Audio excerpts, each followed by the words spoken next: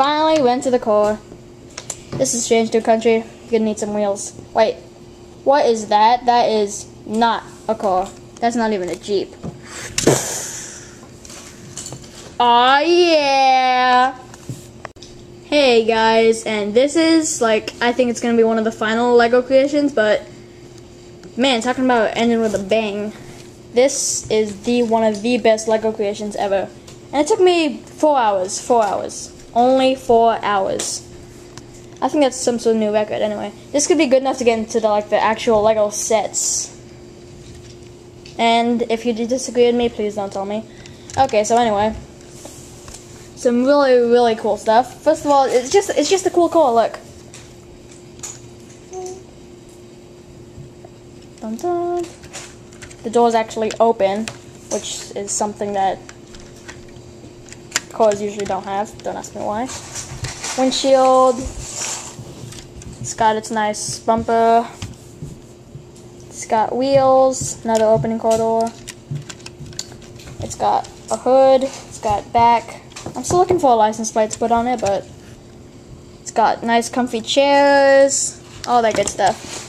But of course, you guys aren't going to be satisfied until you see me blow stuff up, right? If you have no idea what I'm saying, just just go with me here, okay? Right. Okay, yeah. So, we're gonna put this, see this little person inside. These are my favorite characters, by the way. You might recognize them from the Ninjago series. We'll just go with that.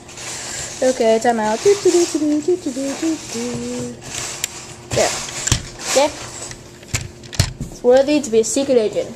Now he's just strolling along, and then he sees Justin's face. Ah! Quickly, he pops out his hood gun.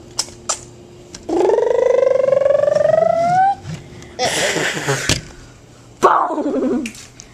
Justin was hit. Justin was hit, but he's not dead yet. He closes the hood guns. Opens out the missiles on the back. Ah!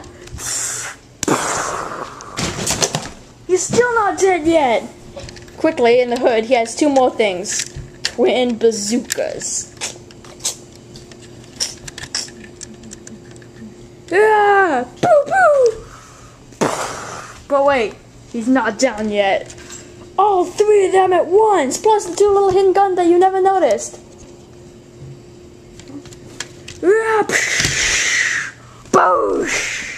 And he's dead. That's some really cool features right there. You have to admit. Really, really cool features. Because, I mean, you got a good looking car and good weapons to boot. This is by far the best thing I've ever, ever done. Well, make sure to subscribe if you want to see more of these, and check out Ninjago stuff. Oh yeah, and eventually there's going to be some bonus thing where I get all my LEGO creations and have them all go in one giant dogfight. Okay? Well, that's it for now. See you next time. Peace out.